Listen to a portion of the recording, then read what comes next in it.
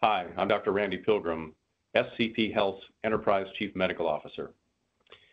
There are many concerns and fears surrounding COVID 19. They've caused many patients to delay or avoid getting the care that they need. But one of the best things you can do is make sure you're the best version of health that you can possibly be.